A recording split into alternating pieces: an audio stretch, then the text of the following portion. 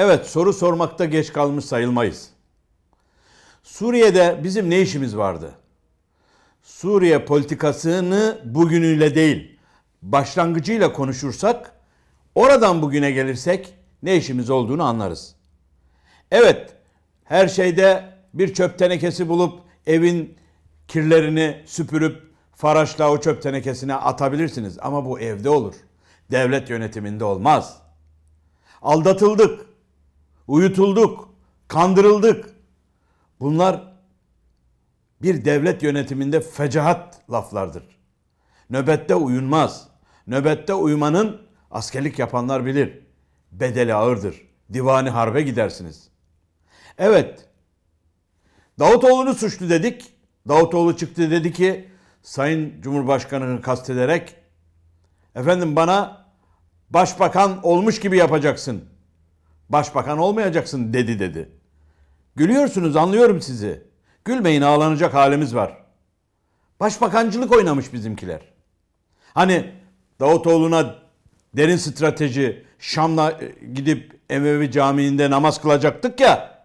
Müslümanların damarından böyle hani Müslüm'ün damar şarkıları gibi.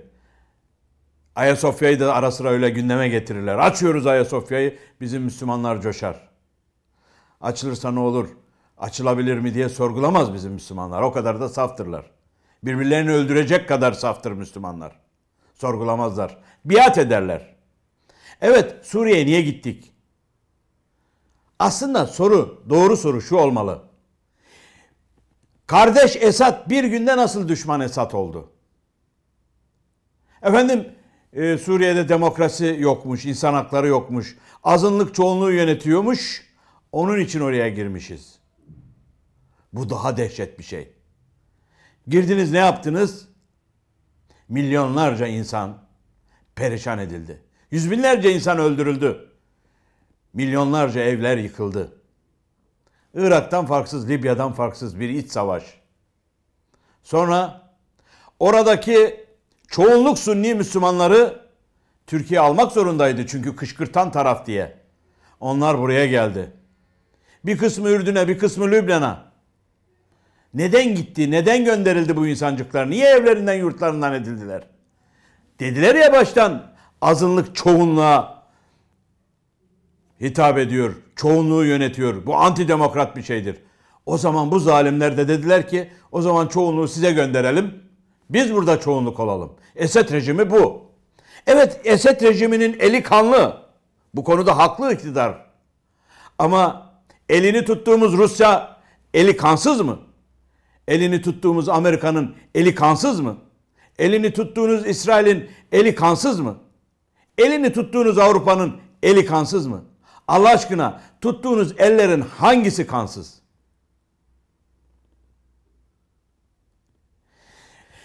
Hava savunma sistemimiz yok iken S-400 almaya kalkışmak bir milli savunma olarak bize sunuldu.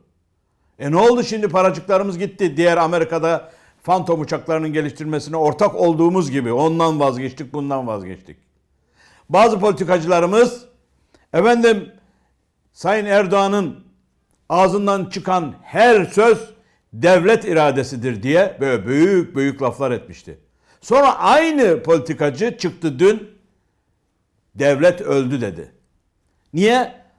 Şehitlerin arefesinde Sayın Cumhurbaşkanı televizyon kameralarının karşısında konuşma yaparken tebessüm etmesi, damadı bayraktarın da kahkaha atması sonucu devlet haklı olarak öldü dedi.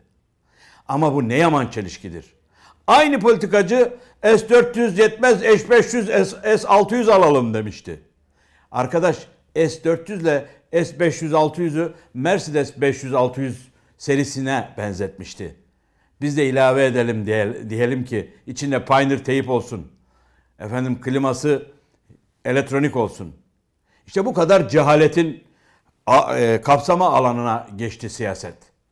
Siyaset kalitesi, devlet yönetimi işte bu aziyetlerin, dünyayı bize güldüreceklerin şeyine düştü. 5 Mart'ta Putin'in ekibiyle Türkiye ekibi e, karşılıklı oturacak.